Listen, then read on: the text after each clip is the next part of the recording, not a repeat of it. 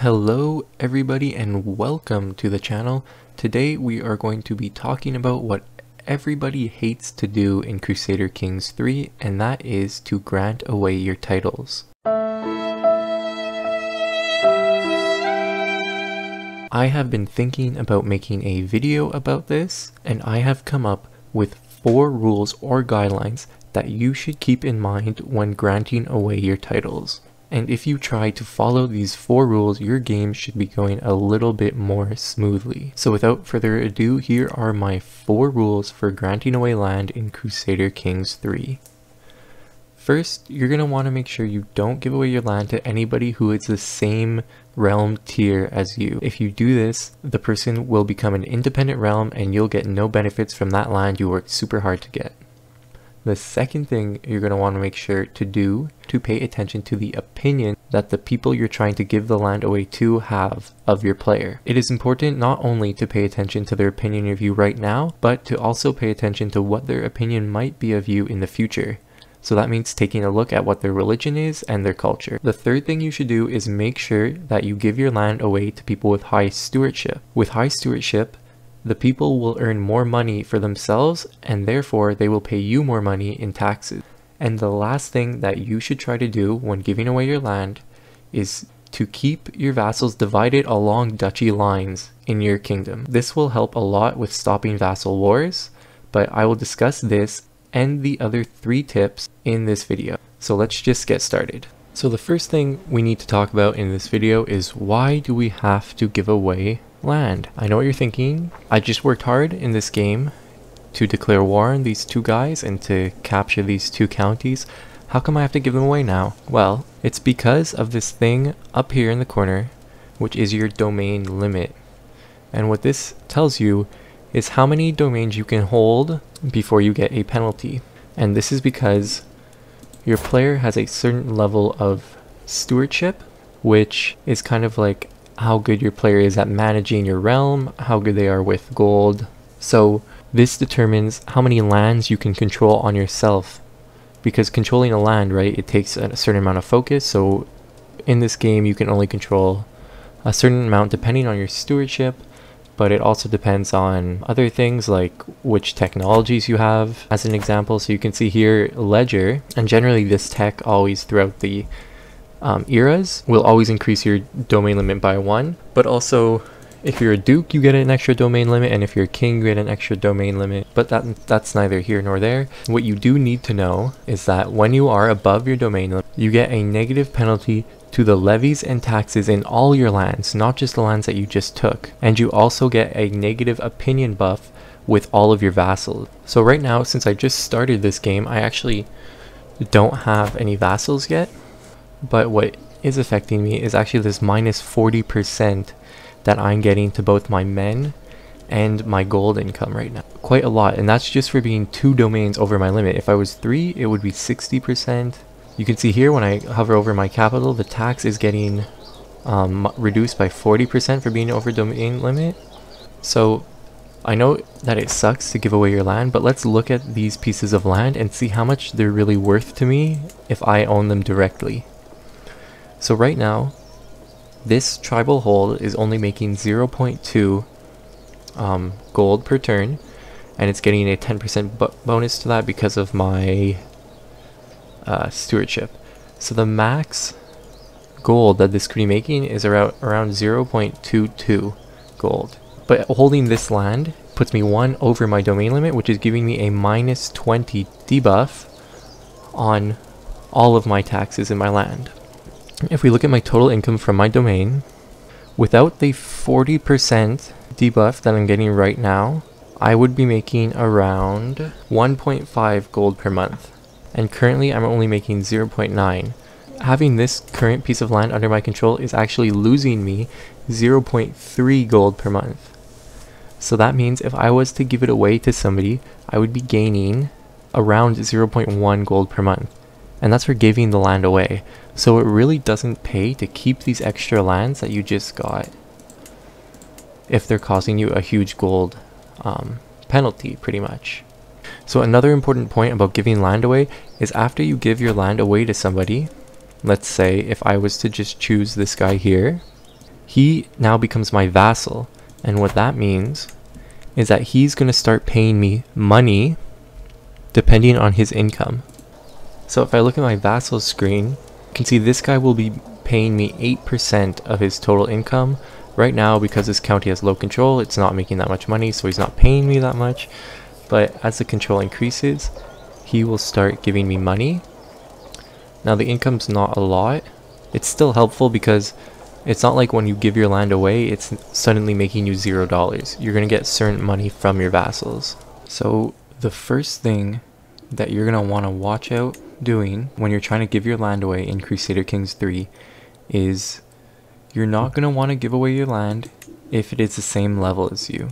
So what this means is you can see right now I am a um, duchy tier realm which means the highest title that I hold is a duchy, and that means that I cannot give away any of the other duchies that I own because let's say if I were to grant away this new duchy I just got, you can see that you can see what would happen is this guy who I would grant it to would become an independent kingdom, which means he will no longer be part of my realm and he'll have his own realm. So just as, as an example, I'm going to grant this, this to this guy here and you can now see that he is his own land here. He owns this whole place and I don't. I know in the beginning of the game I had done this a few times and I'm sure you have too and it's super annoying because you you lose the land that you just got and what's worse is you don't even get a claim on the land so it's hard for you to take it back after.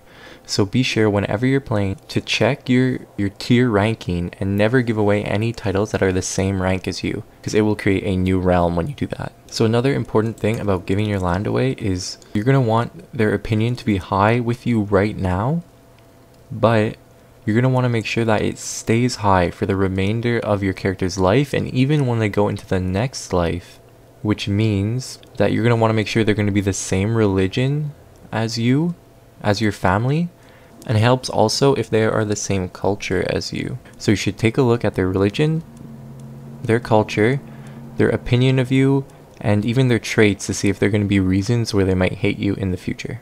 So when I do go to grant to somebody, I like to choose somebody who has high stewardship because they'll make more money, meaning I'll make more money from the taxes that they have to pay me. And I also try to always choose somebody with the same religion as me because if they are a different religion than you, they'll get a, a negative opinion buff to you and that's not good because it'll make them more likely to join rebellions and things like that. So I'm going to grant that title away. And now you'll what you can notice is actually before I granted these two titles away, I was only making 0.9 gold per month and now I'm making 1.5 gold per month, which is directly because I'm not getting the negative 40% um, attribute to all of my gold and my men. And you can see also my units increase because the same thing happens to them. So it really doesn't pay to keep lands um, if they're above your domain limit. So another thing that you're going to want to be aware of when you're giving your land away is actually what duchy the lands are a part of.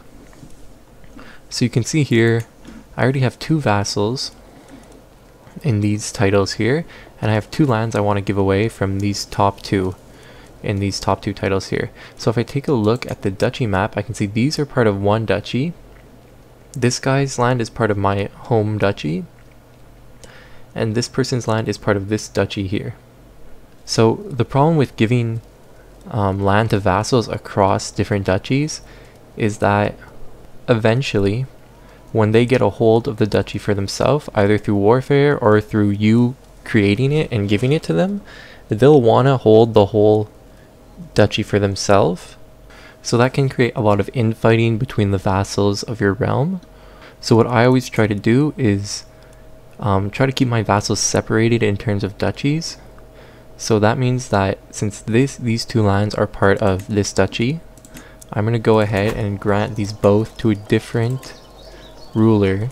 And eventually when I'm able to create this duchy, I will give it to him and I find this generally helps because a lot of people will try to give separate their vassals in terms of one piece of land each or one or two only, but I find it's actually really helpful to have strong vassals who have multiple pieces of land and duchies, and they're actually able to invade other people for you, and that's how you can get um, a lot of land really quickly because you won't even the only work that you'll have to do is taking out the bigger enemies and your vassals will take out all of the smaller enemies around them. But this strategy is a little bit risky because you'll have to make sure that your vassals will like you enough not to turn on you when they become strong. And for that same reasoning, since I took this um, county here, which is part of this duchy, I'm just going to go ahead and grant that to another new vassal. Okay, so this has kind of been the game that I was playing through this whole video, and I just am able to found my kingdom here, so I'm going to go ahead and do that. So now we own the kingdom of Greater Poland, and I just wanted to go ahead and show you guys, if you follow these four tips of granting your land to vassals, uh, your game should run pretty smoothly. You can see I can have my army should replenish to 4,000 troops, which is a lot more than all my neighbors right now. So I should be in a good position just to steamroll over all of these guys around me. I'm making a lot of gold from both my vassals and my taxes. So now you can actually see that all my vassals really like me because I've kind of done these steps of trying to keep their opinion high.